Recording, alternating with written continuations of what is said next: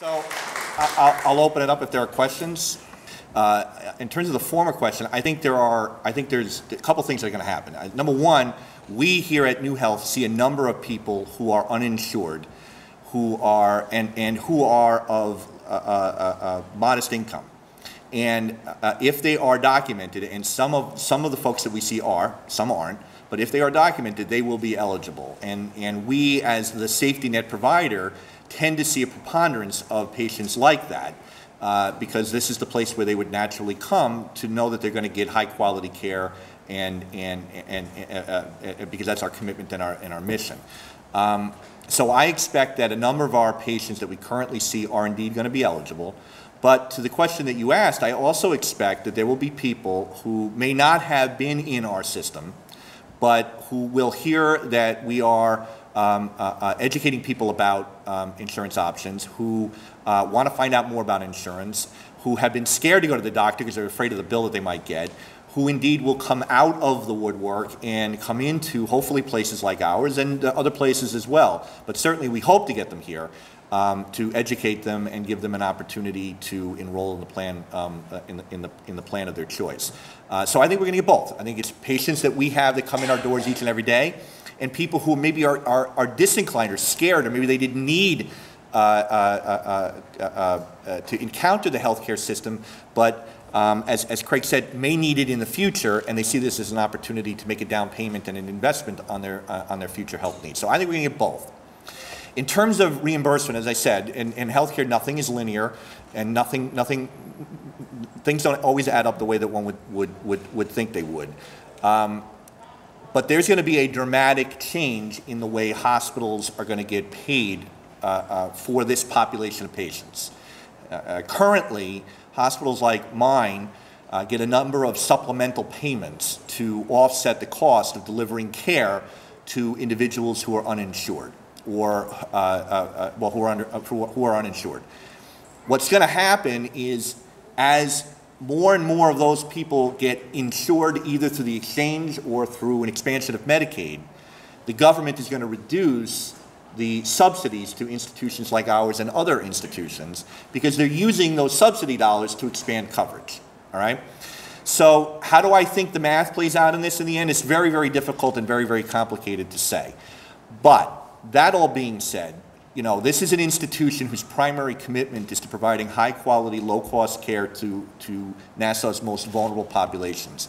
We would not be doing our mission, we would not be achieving our vision for our institution if we weren't optimizing our patients' opportunity to be able to get coverage. Because if they get coverage, all right, they will, that, that, that, that, that, that gets to, the, to, to achieving, for us, high quality, low, low cost care for as many of the, of the people in Nassau County who are vulnerable, who need the care as possible. If they don't have coverage, they're going to be reticent to get care or they won't get care at the right time uh, and they'll defer care and as a result they get sicker than they need to be.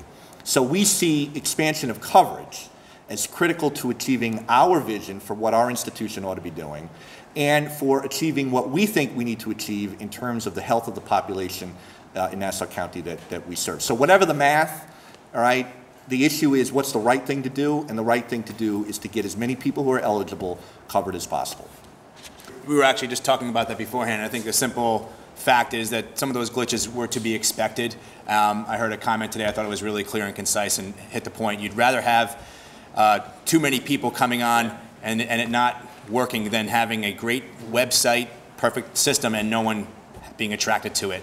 So the reason why there's a six-month open enrollment period in the, in the first year is to allow enough time to deal with those glitches. So we're not overly concerned. I don't think from a health plan perspective that it was shocking in any way. It was kind of to be expected. Um, and we're pleased to see the, the interest and um, uh, we look forward to you know getting the people the information that they need and we are confident that the, uh, the websites will be up and running in, in no time be patient. Um, we, are, we still have people out in the field. You're, you're, still, you can still evaluate what the person might be eligible for. You know, they just will not be able to sign on to get it right yet. And remember, this, this uh, insurance is not, you know, they, if they sign on today, they're not effective until January 1 anyway. So I think there's a, there's a, there's an amount of time.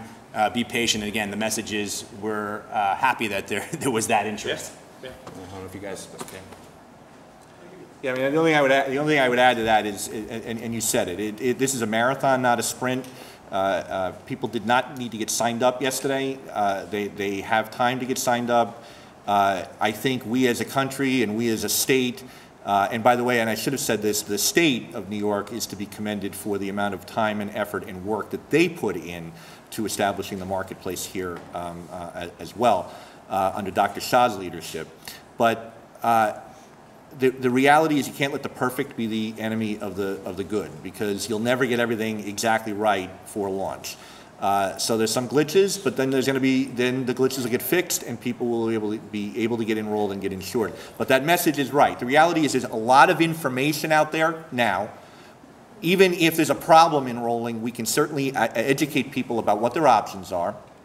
And that process actually helps us because we learn more about the kinds of questions that people are actually looking for answers to. All right, and that helps us to hone and refine our message to them as well.